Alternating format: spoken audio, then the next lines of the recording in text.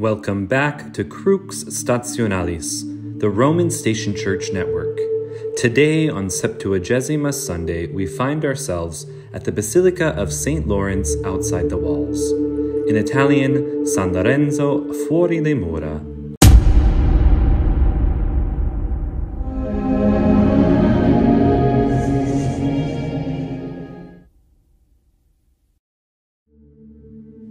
Thank you for joining us at Crux Stationalis. If you're new to the channel, don't forget to subscribe and like this video, and when you're done watching, share it with your family and friends.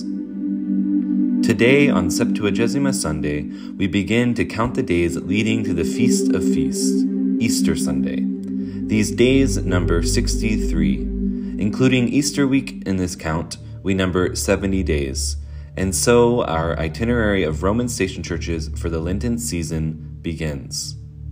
First, what does Crux Stationalis mean for all of the new viewers of this channel? This name was chosen because in the Catholic tradition, for processions of any sort, and especially the penitential litanies, the clergy and faithful would gather behind a cross. The Roman station churches are churches of the local church of the Diocese of Rome, which are assigned to particular liturgical days throughout the liturgical year. In Rome, for these days throughout the liturgical year, the faithful and clergy would gather at a colletta church and process to the station church, the Statio. The seven districts of Rome each had its own station cross, or a crux stationalis, and behind their respective crosses they gathered and made this Lenten journey. They would do this amidst the physical toil of their daily lives, signifying and expressing in a tangible way the spiritual journey we all make in the Christian life. And so we, as we prepare for Lent with these days of Septuagesima, let us gather behind the cross and count nothing as lost. Every aspect of our daily life, the simple and complex, can and must culminate in that glorious cross of love crucified, Jesus. This portico or porch, dated to around the year 1220, houses two sarcophagi, ancient in origin. This one decorated in the 7th century, most likely, and adorned with these putti, or these cherubs picking grapes. And we find these 13th century frescoes depicting scenes from the lives of St. Lawrence and St. Stephen, both martyred as deacons of Holy Mother Church. Now let us enter the basilica. On Septuagesima, we gather at the burial place of St. Lawrence, especially honored in the city of Rome, of which he is the third patron after Saints Peter and Paul. La Basilica Papale di San Lorenzo fuori le mura, or in English, the Papal Basilica of St. Lawrence outside the walls, is a Roman Catholic minor papal basilica and parish church located in Rome, Italy. The basilica is one of the seven pilgrim churches and one of the five papal basilicas, formerly a patriarchal basilica, each of which was assigned to the care of a Latin church patriarchate. The Basilica of St. Lawrence was assigned to the Patriarchate of Jerusalem. It is the shrine of the tomb of its namesake, St. Lawrence, one of the first seven deacons of Rome who was martyred in the year 258. Many other saints and Blessed Pope Pius IX are also buried in the basilica, which is the center of a large and ancient burial complex. Pope Benedict XVI renounced the title of Patriarch of the West in 2006 which, as a consequence, officially styled the Roman Catholic patriarchal basilicas as papal basilicas.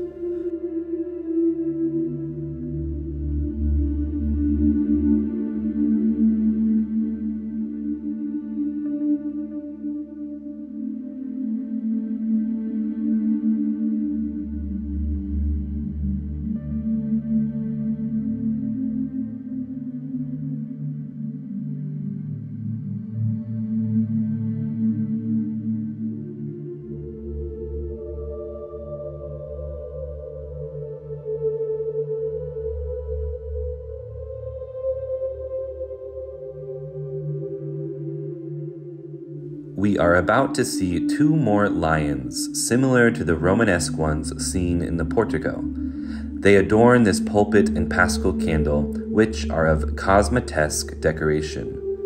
This beautiful paschal candlestick from the 12th or 13th century reminds us throughout the year of the beauty of Easter night, when the light, the new light, fills the body of the church.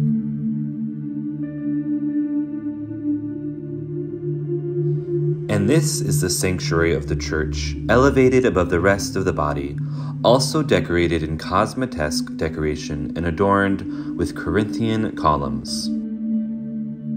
Before the present day basilica was constructed, the former estate upon which it sits was once home to a small oratory built by Emperor Constantine. The emperor built it over the site on which tradition held that St. Lawrence was buried in 258. In the 580s, Pope Pelagius II commissioned the construction of a church over the site in honor of the saint. In the 13th century, Pope Honorius III commissioned the construction of another church in front of the older one. Both St. Stephen and St. Lawrence lie in this crypt, or confessio, underneath the high altar.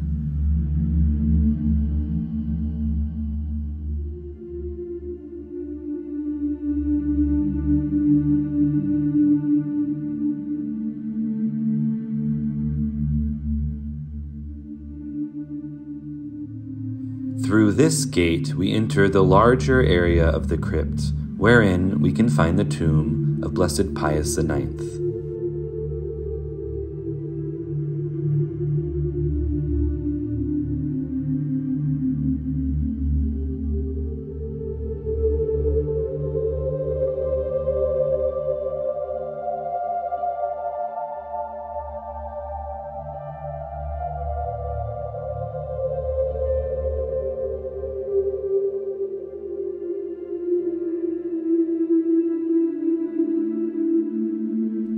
Here we see the tomb of Blessed Pius IX, dark on cloudy days in Rome. If it caught your eye at the beginning of the video, you may have seen that it was this pope who erected the column which stands in front of the basilica.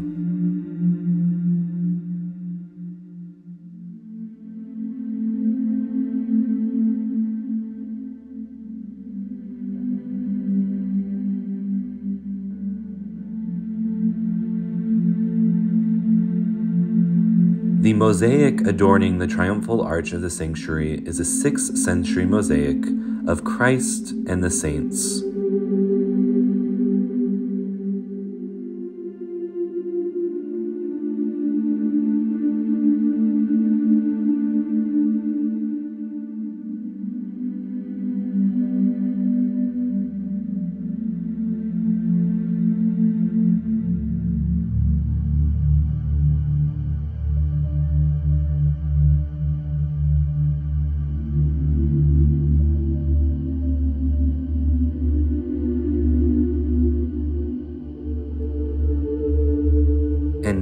We explore more of this crypt, with engravings and altars with crucifixes of plenary indulgence. Whoever comes to these altars with contrite heart is forgiven of his sins. And here at the foot of the cross, we find St. Lawrence and St. Stephen, the two deacon martyrs, lying just steps away in their tomb. Next to these altars, we find the entrance to the cemetery which surrounds this church complex of San Lorenzo. Above the door, we see images of Christian art, so typical of Christian cemeteries, giving us the hope of eternal life, the Alpha, the Omega, the chi and the rho, the first letters of the name of Christ. And now let us explore more the season of Septuagesima. This 17 day period, beginning on Septuagesima, is intended to be observed as a preparation for the season of Lent, which is itself a season of spiritual preparation for Easter. In many countries, Septuagesima marked and still marks the traditional start of carnival season, culminating on Shrove Tuesday, sometimes known as Mardi Gras.